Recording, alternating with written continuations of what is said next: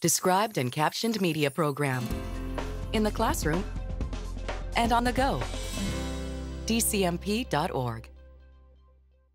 Films Media Group presents Butterfly Effect Aral, a sea for cotton. 1954. The Soviet Union launches a project of pharaonic proportions the construction of the Great Karakum Canal. Dozens of men dig. 2002. A specialist American team goes to a secret laboratory and destroys 300 tons of bacteriological material. 2003.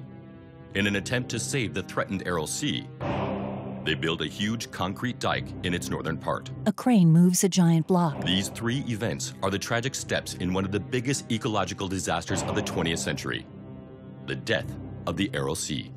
The described and captioned media program provides services designed to benefit students who are blind, visually impaired, deaf, hard of hearing, and deafblind.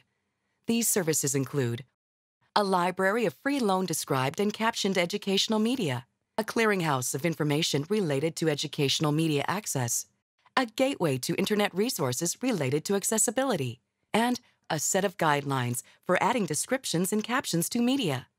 There are no user registration or service fees. Visit the DCMP at dcmp.org. The DCMP is funded by the U.S. Department of Education and administered by the National Association of the Deaf.